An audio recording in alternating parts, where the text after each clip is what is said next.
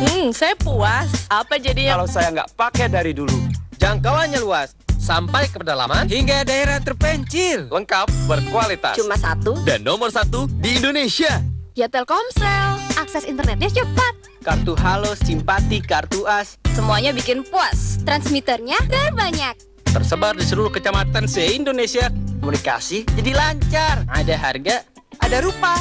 Puas. Puas. Ebeta puas. Berkualitas. Ada lebih Dari puluhan juta orang yang pilih Telkomsel. dari Indonesia untuk Indonesia. Ayo gabung. Dengan yang berkualitas.